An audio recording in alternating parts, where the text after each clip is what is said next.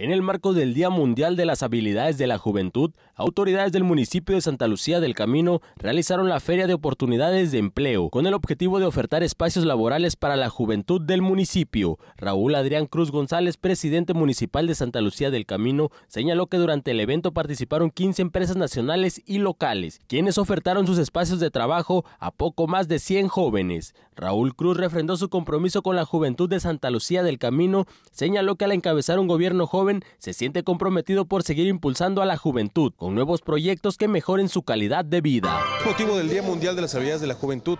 Como bien sabes, somos un gobierno joven en, que encabezo y principalmente también el, rubro o, la sección de jóvenes de repente de quedar hasta el último en los gobiernos. Hoy estamos dando la oportunidad, creando bolsas de trabajo también para ellos.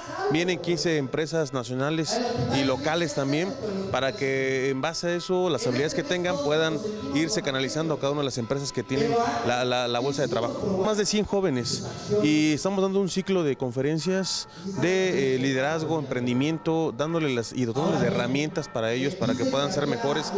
Eh, nuestro gobierno tenemos la firme decisión de poder crear mejores generaciones para que podamos tener un mejor municipio y así con, las condiciones de vida sean mejores también.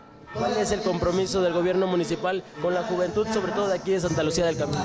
Mi compromiso es firme con ellos, darle las herramientas, darles las oportunidades, darle también a ellos la seguridad y la confianza en su municipio y también dándoles oportunidades de trabajo.